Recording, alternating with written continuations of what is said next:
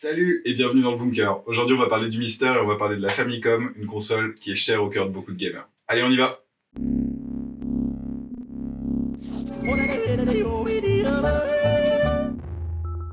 Salut, je suis ravi de vous retrouver pour une nouvelle série de vidéos autour du Mister sur euh, Mode in Suisse, Mode in France.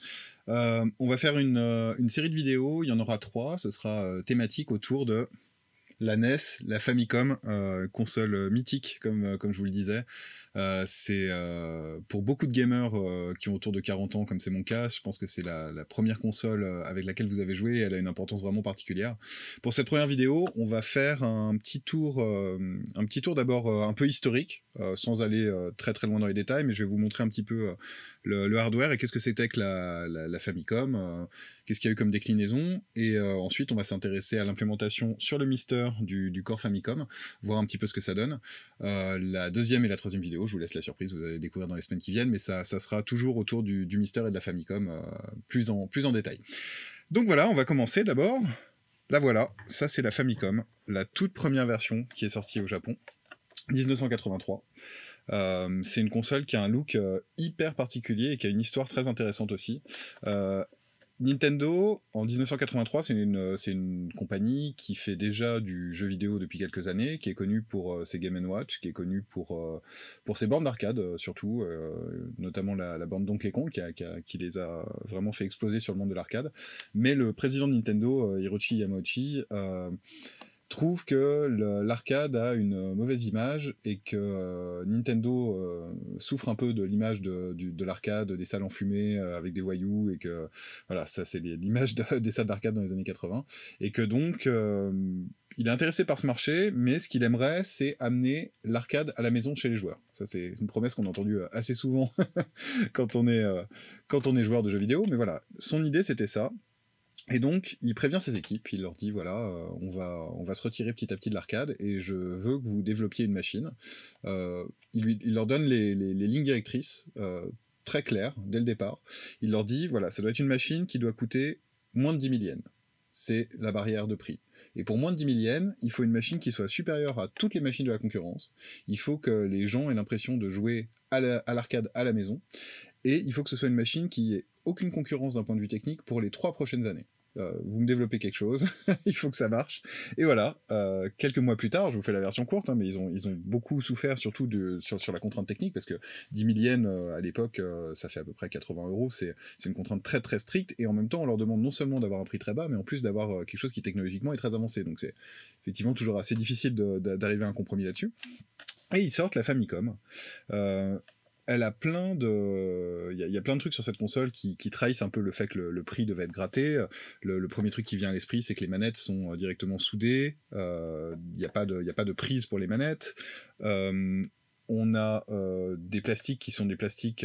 alors c'est pas des plastiques les, moins chers. Il y a une, légende qui dit qu'ils ont choisi le rouge parce que le rouge était la couleur la moins chère. En fait non, ils ont choisi le rouge et le blanc et ensuite ils se sont rendus compte que le rouge comme par hasard, était aussi la, couleur la moins chère, mais par exemple les plastiques, c'est une des premières consoles qui a des plastiques ABS, donc de très très bonne qualité, euh, qui était qui était très rare euh, et assez moderne euh, au, début des années 80. Donc de ce point de vue-là, ça va. Par contre, si on tourne la console à l'arrière, bah, on remarque déjà, premier truc qui est très compliqué pour jouer à la, à la, Famicom de nos jours, en tout cas cette version, c'est qu'il y a uniquement une sortie RF avec euh, deux, euh, deux canaux. Donc RF, euh, c'est sortie antenne, c'était la raison pour laquelle ils ont fait ça, c'est qu'à l'époque, 90% des télés étaient équipées de... 100% des télés étaient équipées de ça, mais il y avait, très peu de télés qui étaient équipées d'autres choses que, des connectiques de, de radiofréquence, donc ils ont mis ça, et puis c'était pas cher, c'était vraiment ce qu'il y avait de moins cher. Et voilà, ils sortent cette console, elle est jolie, elle a un look un peu futuriste, euh, elle a quand même ici un port d'extension, euh, qui, vient dès le départ. Je vais vous montrer ce qu'on peut, ce qu'on peut brancher dessus. Euh, très vite, des accessoires arrivent. Et voilà, ça c'est le lancement. La console ne coûte pas 10 000 yens, ils n'ont pas réussi à atteindre cette barrière-là, elle sort à un peu moins de 15 000 yens, ce qui déjà pour l'époque est absolument fou, et la concurrence est complètement euh, désemparée, euh, ils, se demandent comment c'est possible d'arriver à un niveau pareil euh, technique avec, avec une console si peu chère? Les concurrentes à l'époque coûtent 20 000, 30 000, 40 000, jusqu'à 50 000 yens, et on a des rendus qui sont équivalents à ce qu'on trouve sur des, ordinateurs professionnels qui coûtent encore parfois 10 fois plus. Donc c'est vraiment, à l'époque, techniquement, c'est vraiment une, une révolution. Les jeux, eux, sortent sur support cartouche. Donc un des jeux vraiment mythiques, qui est celui qui va vraiment faire décoller la console au début, c'est Super Mario Bros. Les jeux se mettent ici. instant ASMR. On les rentre. Voilà. Et la console, quand on, quand on la connecte, ressemble à ça. Il y a un bouton eject qui permet de sortir la console. Tong. Et voilà, ça, c'est vraiment euh, comme ça que les, Japonais découvrent, euh, découvrent la Famicom. Cette console, elle va mettre quelques années à arriver chez nous. Euh, elle va arriver trois ans plus tard. Et elle va plus du tout ressembler à, la, Famicom version japonaise. Nous, celle qu'on connaît, c'est ça. C'est la NES, le toaster. c'est une console qui, a un look quand même assez... bon, c'est vraiment très emblématique des années 80, mais c'est une, une, console qui a un look quand même voilà, clair, marqué, euh, qui a vraiment marqué toute une génération. Pourquoi elle ressemble pas à la Famicom? Parce que entre euh, le, moment euh, où ils ont sorti la, console, il y avait eu le, crash au début des années 80 du jeu vidéo, et plus personne ne veut entendre parler de jeux vidéo, spécialement aux États-Unis en fait. C'est vraiment aux États-Unis que ça, ça, les a plus touchés, et c'est un énorme marché. Et donc ils ont essayé de vendre ça, non pas comme une machine de jeux vidéo, mais comme un entertainment system, comme un, un système que tu mets dans la maison et euh, c'est du jouet, mais il y a aussi des accessoires euh, physiques. C'est entre le jouet et le jeu vidéo. Euh, c'est pour ça qu'on retrouve dès le départ le zapper, le pistolet optoélectronique que je vais vous montrer après, qu'on retrouve Rob surtout. Il y, a, un pack absolument mythique avec Rob le robot qui permet de jouer devant sa télé. Et voilà, c'est pas uniquement du jeu vidéo, c'est pour se détacher complètement de, de l'Atari 2600 et de tout ce qui est venu avant. Voilà, on a, on a la NES, NES qui est absolument mythique. Je pense que ça, c'est un geste que vous avez souvent fait de mettre la cartouche.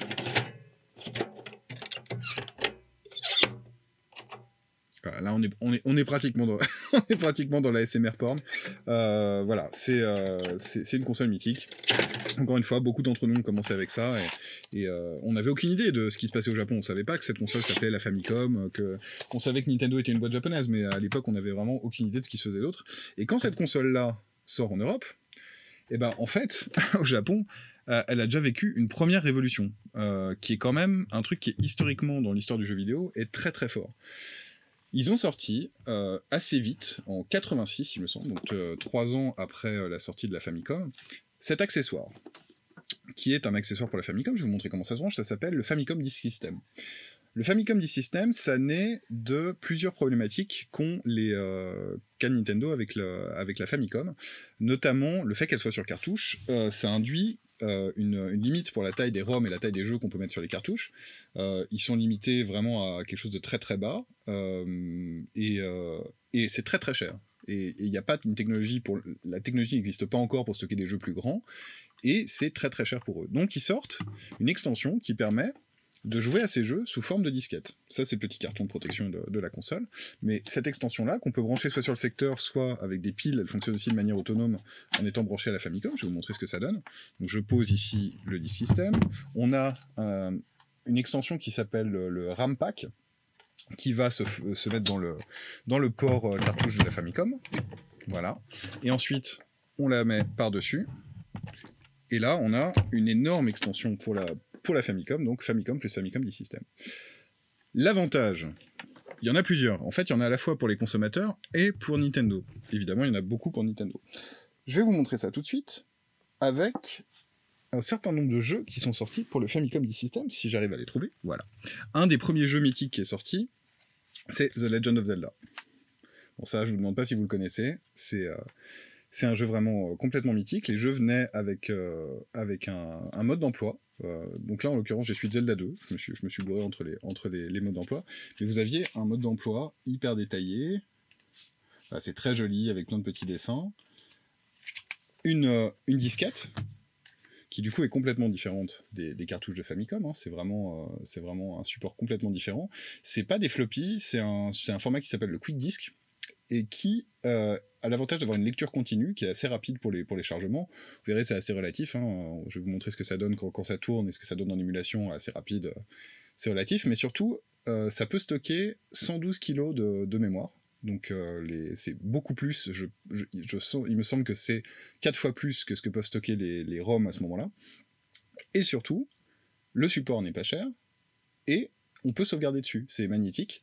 Donc, à une époque où on n'a pas encore de pile de sauvegarde, à une époque où on a des codes euh, dans, les jeux pour revenir à un point donné, ou alors on est obligé de faire des jeux très courts parce que voilà, il faut, que le jeu puisse être pratiqué en entier. Un jeu comme Mario Bros, si vous passez par toutes les warp zones, l'invention même des warp zones, ça date du fait qu'il n'y ait pas de système de sauvegarde. Il fallait qu'il y ait un moyen facile d'aller plus ou moins à la fin du jeu, en tout cas d'avancer dans le jeu, pour pas que les gens soient frustrés. Bah là, on résout tout ça en une fois. On a un support de stockage pas cher, qui stocke plus, qui a un chip sonore amélioré dans la, Famicom D-System. Euh, vous l'entendrez sur la, sur la partie démo. Euh, c'est, euh, voilà, ça combine plein de technologies qui, au final, font que les jeux, au lieu d'être proposés à 5000 yens, comme les jeux l'étaient sur, sur Famicom, je vous montre donc un jeu en boîte sur Famicom, ça ressemblait à ça. Hein. Ça, ça coûtait environ 5000 yens. Un jeu sur Famicom D-System, ça coûte la moitié, 2500 yens. Énorme, énorme baisse, énorme baisse de coût pour le, pour le consommateur et aussi pour Nintendo pour la production. Et il y a un autre avantage qui est fou quand on y pense à l'époque. Ils ont installé des bornes dans les, dans les magasins euh, de, qui vendaient des jeux vidéo, qui étaient souvent des magasins de, jouets, en tout cas au Japon. Et on pouvait venir avec son disque, le mettre dans la borne, choisir un autre jeu, reprogrammer la disquette. Il y a deux faces, hein, donc souvent on peut mettre deux jeux. Là, The Legend of Zelda, en l'occurrence, les deux faces sont occupées pour le jeu, mais il y a beaucoup de jeux qui fonctionnent sur une seule face. Et on payait 500 yens pour reprogrammer son jeu on recollait des petites étiquettes dessus pour changer le label, et voilà, on repartait avec un nouveau jeu pour, 2500, pour 500 yens au lieu de 2500 yens. Donc ce qui fait qu'économiquement, c'est euh, du, du, démat avant l'heure, en fait. C'est l'invention du jeu dématérialisé par Nintendo, mais on est en 1986, donc euh, euh, c'est quand, même, quand même assez fou. Cet accessoire, ça marche très très fort, ça décolle très très bien. ils vendent énormément, c'est très très populaire, bah voilà, c'est hyper intéressant, mais ça va pas durer très très longtemps avant de, passer à, l'étape d'après du Famicom E-System, je vais vous montrer d'autres jeux et je vais vous montrer ce qui a fini par poser problème. Je vous montre quand même cette machine, qui va être un peu mon main pour vous faire toutes les démos euh, par la suite. C'est le Sharp Twin Famicom. Donc le Sharp Twin Famicom, c'est euh, à la fois une Famicom et un Famicom E-System tout en un, donc en, une seule euh, machine. Ici, vous pouvez mettre des cartouches. Voilà, vous pouvez les éjecter. Et vous pouvez switcher entre le lecteur de disquette et le lecteur de cartouche. Donc c'est en fait du 2 en 1, c'est à la fois une Famicom et un Famicom e-System. Cette machine-là, elle, est, euh, elle est très pratique parce que bah, on joue tout sur une machine, elle est pas hyper encombrante, elle a une seule alimentation. Ses manettes sont quand même attachées exactement de la même façon que, la Famicom, les câbles sont pas beaucoup plus longs, mais voilà. Mais elle a une autre grosse différence, c'est qu'elle a une sortie AV, ici, parce qu'elle a été modifiée par Romain. Euh, donc cette console, elle est, euh, elle est modée en sRGB. Vous pouvez retrouver d'ailleurs la vidéo sur, sur Mode in France du, mode de cette console. Et euh, voilà, vous allez voir que cette console-là, c'est un peu la Famicom ultime pour y jouer. C'est facile à brancher à la fois sur un écran euh, ancien et sur un écran moderne avec, euh, quelque chose comme le SSC. On y reviendra dans la dernière vidéo de cette série, c'est pas, si simple, mais ça se fait très bien, et le rendu au final est vraiment très très bon. Voilà, donc ça c'est un peu la, console ultime, sachant qu'avec pour jouer à la Famicom, sachant que vous pouvez brancher un Everdrive dessus, ou avec un adaptateur cartouche, vous pouvez même brancher des cartouches de NES dessus avec un adaptateur euh, des pins de NES vers les pins de Famicom, et vous pouvez jouer à à peu près n'importe quoi dessus. La Famicom, je vous l'ai pas dit, mais c'est une console qui n'est pas zonée. Ils n'avaient pas encore inventé la puce de zonage, donc ce qui fait que quand on met un jeu américain ou un jeu, un jeu européen dans une Famicom, il va euh, tourner, il va complètement ignorer la, puce de, de, contrôle de la zone, et euh, vous pouvez jouer à peu près n'importe quoi, dans la limite du fait que les jeux vont tourner en 60 Hz, connaissez cette fameuse, euh, cette fameuse règle. Les consoles en Europe étaient euh, en, 50 Hz pour, le, pour les, signaux PAL et CCAM européens. Le NTSC est en 60 Hz, donc 20% plus rapide. Euh, il y a beaucoup, beaucoup de jeux que vous allez mettre dans une, dans une console comme ça qui sont prévus pour tourner en Europe et qui vont très mal tourner en fait sur, sur une, une Famicom parce qu'ils vont tourner trop vite. Donc la musique va aller trop vite ou le jeu va aller trop vite. Mais beaucoup d'autres jeux vont en fait finalement tourner juste à la vitesse à laquelle ils étaient prévus à la base pour tourner. Donc voilà, ça c'était un peu une présentation de là, on est encore dans, la, dans, le Famicom système. La console continue à vivre. Je vous montre quelques jeux de l'époque, aussi bien sur Famicom système que sur NES. On a Super Mario Bros, comme je vous l'ai montré juste avant, en version japonaise. Mais on a, nous, le même Super Mario Bros qui est sorti chez nous. Ça, c'est des boîtes euh, plus petites euh, qui, sont, euh, qui sont sorties en, en, Suisse, Benelux et, et Hollande. donc voilà, c'est les premiers jeux sont sortis sous ce format-là. en France, ils sont sortis directement sous le format que vous, connaissez. Jusqu'à à peu près Super Mario 2 et, Zelda 2, où ils ont, ils ont sorti après dans les deux, dans les deux formats. Donc ça, ça, ça, va être la taille d'une cartouche, une cartouche de NES licence classique. Les cartouches font la même taille à l'intérieur. Hein. C'est vraiment juste la boîte qui est en, petit, et, mais le, jeu est strictement le même. Donc ça, voilà, c'est les jeux que vous, pouviez trouver à l'époque, des grands classiques, Mario 1, Mario 2, Mario 3 qui est ici. La NES, d'ailleurs, je vous l'ai pas dit, mais là, vous avez, vous avez juste derrière un, des sets classiques de la NES. Euh, là, c'est le, pack avec 4 euh, manettes euh, World Cup et World Cup et Mario. Un, une autre euh, boîte, une autre cartouche, un autre format assez intéressant, c'est que les éditeurs tiers euh, ne respectaient pas forcément le, format des cartouches de, Famicom, donc ils sortaient aussi leur boîte, leur propre boîte. Ça c'est Namcot, donc euh, Namco avant qu'il s'appelle Namco s'appelait Namcot, et ça c'est des boîtes qui ont hyper bien survécu au temps parce que voilà, elles sont en plastique rigide et c'est voilà un format complètement complètement différent. C'est assez, c'est assez intéressant. Quant au Famicom System, donc là je vous ai montré Zelda, il y a quelque chose d'assez euh, d'assez marrant. Bon, c'est un trivia qui est, très connu maintenant et, on le sait à peu près tous. On l'a découvert même à l'époque avec euh, Super Mario All Star quand il est sorti. On avait un jeu à l'intérieur qui s'appelait Lost Levels. Lost Levels, c'est euh, en fait c'est le véritable Super Mario 2. Nous on a connu ce Super Mario Bros 2 là, mais au Japon ils n'ont pas connu du tout ça. Et Super Mario 2, c'est un jeu qui est sorti sur le Famicom System. Donc le premier Mario est sorti ici et le deuxième Mario qui s'appelle Mario Bros 2, Super Mario Bros 2, est sorti sur Famicom D-System. D'un côté, ça dépend vraiment des cartouches, sur celui-là on a Othello d'un côté Super Mario Bros 2 de l'autre côté. Et nous, on l'a jamais connu ce jeu parce qu'il a été jugé comme, comme étant trop complexe euh, à jouer, ce qui est vrai, c'est un jeu qui est extrêmement hardcore euh, par, les, Américains. Et, euh, et donc ce jeu n'est jamais sorti chez nous, vu que les États-Unis prenaient la décision à peu près pour le monde à l'époque en termes de distribution. Ça, c'est encore une fois, c'est un manuel. Euh, vous allez voir, je vous ai fait des, je vous ai fait de toute façon des close-up que vous avez vu des, consoles. Je vous montrerai ça de près. Et il y a beaucoup de ces, items-là, vous les retrouvez en photo. Euh, je, vous les, je, les, ai déjà pris en photo euh, au fur et à mesure du temps. Donc, Super Mario Bros 2 sort, mais nous on a connu ça. Trivia marron. Le jeu original qu'on connaît nous sous le titre de Super Mario Bros 2, au Japon ils le connaissent sous le nom de Super Mario USA. Super Mario USA, c'est Super Mario Bros 2 chez nous. Il est sorti aussi au Japon, sous forme de cartouche, donc pas sur Famicom System, il est sorti beaucoup, beaucoup plus tard, il est sorti en 1988, euh, donc beaucoup plus tard, et refait en 1992. Et c'est un jeu original qui s'appelait Doki Doki Panic, que j'ai ici, et je vous le montrerai dans, la, démo qu'on va faire juste après. Mais c'est euh, assez fou de jouer à ce Doki Doki Panic, parce que c'est... Euh, c'est le Super Mario Bros 2 qu'on connaît nous, c'est un, une reskin de ce jeu-là avec quelques adaptations, mais les musiques sont les mêmes euh, pour la plupart, le gameplay est le même, et euh, voilà, nous finalement, en Europe, on a eu un jeu qui a été réadapté, Doki Doki Panic, qui a été skinné en mode Mario pour, euh, pour le Maxi Occidental. C'est assez, assez marrant, je vais vous le montrer tout à l'heure dans la démo. Donc là, la Famicom se vend super bien. Le Famicom D-System se vend super bien. La NES en Europe commence à exploser. Mais malheureusement, ce périphérique, qui, était, euh, qui avait que des avantages au départ, a commencé par être plutôt un boulet et a posé beaucoup, beaucoup, beaucoup de problèmes. Juste avant ça, je, me rends compte maintenant, j'ai oublié de vous montrer, un dernier type de cartouche de Famicom D-System, ça aussi, quand, quand, on y pense, d'un point de vue technique, c'est complètement fou. Ils ont fait des disquettes qui étaient bleues, qui sont, euh, voilà, qui sont physiquement les, mêmes, les mêmes que les, que les autres, et qui s'appelait du euh, Famicom D-System Fax. C'était le fax system. Et ça, ça permettait, c'était des cartouches pour des concours, pour des concours nationaux au Japon. Donc là, le jeu, celui-ci, c'est F1 Race. Vous alliez sur une de ces bornes, vous jouiez à la maison à votre jeu, vous pouviez enregistrer vos meilleurs temps sur les, sur les parcours, et ensuite, clic, vous alliez dans une borne et vous pouviez uploader vos, temps de parcours et participer à une compétition nationale au Japon euh, entre tous les joueurs euh, pour, pour F1 Race. Donc ça, c'est quelque chose, à cette époque-là, euh, en, Europe et n'importe où dans le monde, c'est de la, science-fiction. C'est vraiment, complètement fou de pouvoir avoir du contenu interactif. On n'est pas encore sur du jeu online, mais on a, on a quand même quelque chose d'hyper interactif où on peut partager ses scores, et ça aussi c'est né sur le Famicom D-System. Je disais donc, ce Famicom D-System, il va commencer à prendre du plomb dans l'aile, et le tout premier coup pour lui, ça va être ce jeu, que vous connaissez sûrement, qui s'appelle Makaimura Ghouls and Ghosts, chez nous. Et ce jeu, d'un éditeur tiers, Capcom donc, euh, ça va être la première cartouche qui va faire 1 mégabit.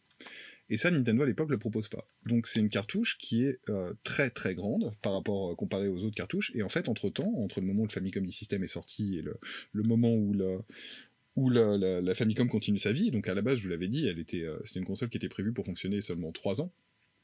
Et en fait, le succès a, été tellement, tellement grandissant et tellement fort que c'est une console qui a vécu très très très longtemps en Occident. elle a continué à se vendre même après la sortie de la Super Famicom. Enfin, grosso modo, on peut dire que de 83 à 92, c'est une console qui pesait encore et qui, a reçu des jeux encore assez tard, je pense jusqu'en 92. Euh, donc là, euh, la technologie euh, progresse, les jeux commencent à être moins chers, les ROM commencent à être moins chers, et donc des concurrents commencent à sortir des jeux, non pas sur Famicom D System, mais sur cartouches de 1 méga. Bon, ça commence à être un peu difficile. Autre problème, les revendeurs sont pas du tout contents du modèle de vente du, Famicom D System, parce que là où ils vendent une cartouche ici à 5000 yens, et c'est tout, ils vont, le, le, client qui veut acheter un autre jeu va acheter un autre jeu, va repayer également à l'époque, le, commerce d'occasion commençait à exister au Japon, donc vous pouviez revenir vendre vos jeux, et c'était même encore plus rentable pour les boutiques. Comme, comme aujourd'hui, ils gagnaient beaucoup plus sur l'occasion. Là, avec le Famicom D-System, il n'y a pas, a pas d'occasion, puisque vous pouvez reprogrammer votre cartouche pour mettre n'importe quel jeu dessus, pour 500 yens. Et là-dessus, sur ces 500 yens, la boutique, elle va en gagner 100, c'est dérisoire. Ils doivent faire une manipulation, c'est un opérateur qui doit aller chercher euh, la cartouche à copier, euh, tourner la clé, ça va de la machine pour toucher euh, finalement 100 yens, c'est absolument pas rentable par rapport à des jeux comme ça, qui rapportent évidemment beaucoup plus aux revendeurs. Et le dernier, le dernier clou dans le cercueil, c'est que la technologie des piles de sauvegarde a commencé à exister. Vous aviez vu que le premier Zelda est sorti sur euh, Famicom D System, et ben il a été réédité beaucoup beaucoup plus tard sur euh, en version cartouche. Chez nous d'ailleurs on l'a connu en version cartouche. Hein. Il, est, dès, le départ pour nous Zelda c'est un, un, jeu sur cartouche avec une pile de sauvegarde. Et la pile de sauvegarde, bah voilà, là on se retrouve avec des ROM très grandes, on n'a plus absolument plus besoin de, de, disquettes, elles n'ont plus aucun avantage. Le chip sonore amélioré du Famicom D-System, bah finalement c'est pas un avantage non plus parce que ce hardware-là ne peut pas évoluer. Sur les disquettes, on peut pas mettre de puce additionnelle évidemment puisque ce sont des, disquettes, alors que dans les cartouches on commence très vite à voir arriver des nouveaux mappeurs, des nouvelles puces qui améliorent le son, qui améliorent les graphismes, qui étendent les, capacités de la console, ce qu'on a, ce que Nintendo avait prévu très tôt dans le, développement de la console, de pouvoir l'étendre. Euh, voilà, ça on peut pas le faire avec le Famicom D-System, donc petit à petit bah, cet accessoire euh, révolutionnaire euh, et très avant-gardiste disparaît et remplacé finalement par, euh, par des, cartouches uniquement. Il y a juste quelques enthousiastes qui commencent, qui commencent à jouer à ça. Euh, ça ne veut pas dire, donc la, console continue à, voir sa, vie durer. Elle a quand même eu des, accessoires, cette console, qui sont assez mythiques. Je vais vous en montrer deux, qui sont très emblématiques, mais il y en a des dizaines et des dizaines. Le premier, alors vous ne le connaissez pas sous cette forme-là. Vous le connaissez euh, sur, sous la forme d'un pistolet généralement orange ou gris. C'est le zapper pistolet optoélectronique de la, de, la, de la Famicom, qui se branche sur le port d'extension de la Famicom à l'avant. Il existe aussi sur le côté, euh, en l'occurrence sur celle-là, sur la Twin, et sur le dernier modèle que je vais vous montrer après. Donc ça, euh, voilà, Duck Hunt, etc., Wild Gunman. On va en parler bientôt, je rentre pas plus en détail dessus. Un autre accessoire très très intéressant, c'est des lunettes 3D pour, euh, pour, la, pour la console. Alors si vous regardez le schéma à l'arrière de branchement, ils prennent l'exemple d'un Famicom D-System, d'une Famicom, et comment faire tout ce setup. Donc on a le port d'extension sur lequel on branche une alimentation, on a un câble donc, qui, se relie au port d'extension, on relie notre manette à travers, euh, le RAM pack, etc. bref, ça fait un setup assez, euh, assez sérieux. Euh, remarque de nos jours avec un PSVR ou un Vive, on a encore beaucoup plus de câbles que ça. Et ça marche étonnamment très bien. Donc ce sont des, des lunettes qui font... c'est pas un système rouge-vert, c'est vraiment un système de, de, de, de, masquage de, 3D avec, avec, avec la fréquence de rafraîchissement. C'est une, technologie qui marche assez bien. Et il y a pas mal de jeux qui sont compatibles. Euh, je vous en montrerai quelques-uns. Euh, bon, sur vous, évidemment, en 2D, vous en rendrez pas compte. Euh, mais c'est très intéressant de voir qu'on a un accessoire comme ça qui est sorti sur, sur une console aussi ancienne. C'est c'est vraiment fou. On a eu la même chose pour la Famicom, pour la Master System en Europe. Il y avait des lunettes qui sont d'ailleurs strictement la même technologie. Mais euh, voilà. on peut se dire que quand on était au Japon euh, au début des années 80 et au milieu des années 80, on avait quand même, d'un point de vue vidéoludique, euh, par rapport à ce qu'on avait en Europe, c'est quand c'est quand même de la science-fiction. Donc, en termes d'historique et en termes de hardware, il nous reste deux petites choses. Alors la première, qui est une, console assez intéressante, qui, est pas mal recherchée aujourd'hui, vous allez, vous allez comprendre pourquoi. Donc ça, c'est la dernière révision de la Famicom, qui s'appelle la Famicom AV, ou la Famicom Junior. c'est une version low cost de la, de la Famicom qui a été produite à la fin et qui diffère sur pas mal de niveaux avec, avec sa grande sœur. La première, c'est que les manettes, comme vous pouvez le voir, ressemblent plus du tout aux manettes de Famicom ni aux manettes de NES. C'est des manettes qui sont beaucoup plus proches de, la, de ce que sera la manette de la Super Nintendo. D'ailleurs, elle est sortie pratiquement en même temps que la Super Nintendo. Sinon, après, non, je pense qu'elle est sortie juste avant la Super Nintendo.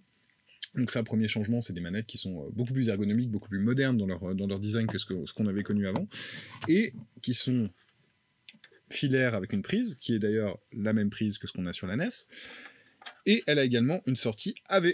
Donc euh, là, c'est une sortie moderne, c'est une console qui permet aujourd'hui de jouer très facilement sans avoir à la modifier euh, directement euh, out of the box. Cette console, elle fonctionne euh, avec des systèmes plus modernes. Le RF, c'est aujourd'hui c'est un, enfer, c'est extrêmement extrêmement compliqué à faire fonctionner. Ça, voilà, c'est une console qui est qui est vraiment idéale pour pour le rétro gaming parce que elle a un signal très très propre et donc en AV. Elle est évidemment compatible avec le Famicom D-System. Vous pouvez le brancher dessus. C'est aussi la façon la plus simple de jouer de nos jours au, Famicom D-System. Vous voyez juste en ce moment une dernière version du Famicom Box grâce au miracle du montage. Donc la Famicom Box, c'était un modèle qui était installé dans les, dans les hôtels euh, au Japon et qui ressemble un peu au M82 qu'on avait en Europe. Euh, c'est un modèle très intéressant, donc c'était pas du tout euh, c'était pas du tout voué à être vendu à la base. c'est un système multi-cartouche, mais c'est pas une bande de démo comme ce qu'on avait en Europe, donc avec le M82. Là, on a un monnayeur sur le côté, on met des pièces de 100 yens et on peut jouer 10 euh, minutes à, un jeu qu'on peut choisir dans la liste. Euh, c'est assez amusant de voir que les manettes sont des manettes de NES, au même format que la NES. Il y a un zapper directement attaché sur le côté, donc on peut jouer aussi au jeu avec, avec pistolet électronique. Le zapper étant le zapper européen avec les manettes de la NES, c'est assez amusant.